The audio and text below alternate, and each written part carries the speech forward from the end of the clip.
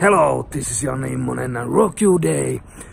And today we are speaking about the bridge between your success and where you are right now. And beginning of my career I start to investing about the real estate. And that's make me possible to do what I'm doing these days. And why? Because I start to buy apartments and those apartments create me passive income. And when I have enough passive income, that make me possible do new business, writing a book, create video course or create some content for you. And I don't need to think about where's the money is coming.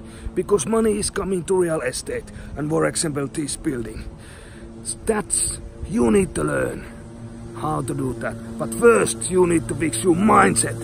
And that's why I want you to go to janneimmonen.com and get there some video course and rock your day.